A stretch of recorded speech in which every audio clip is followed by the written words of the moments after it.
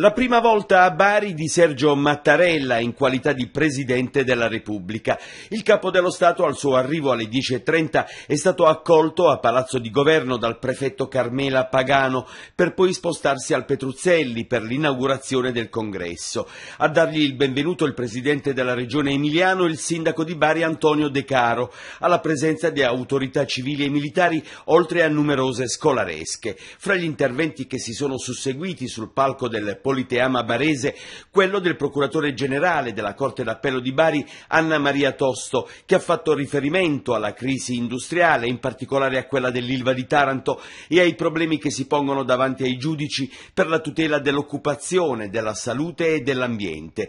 Riproposto anche il delicato tema dell'equilibrio nei rapporti tra i poteri dello Stato, ma il procuratore generale ha parlato anche del fenomeno del caporalato e dello sfruttamento dei lavoratori, di morti bianche, del lavoro nero in una regione con un triste primato di infortuni sul lavoro. Il governatore Michele Emiliano ha invitato il Parlamento ad agire con ogni mezzo per garantire alla magistratura, alle forze dell'ordine, tutti gli strumenti idonei per contrastare mafia e corruzione. Il cordone di sicurezza predisposto nell'area del Petruzzelli e di alcune zone interdette alla circolazione ha creato conseguenze alla viabilità. Il Comune ha predisposto un piano con l'elenco delle strade chiuse al traffico, le modifiche al percorso degli autobus e i divieti di parcheggio, divieti che permarranno fino al termine della manifestazione.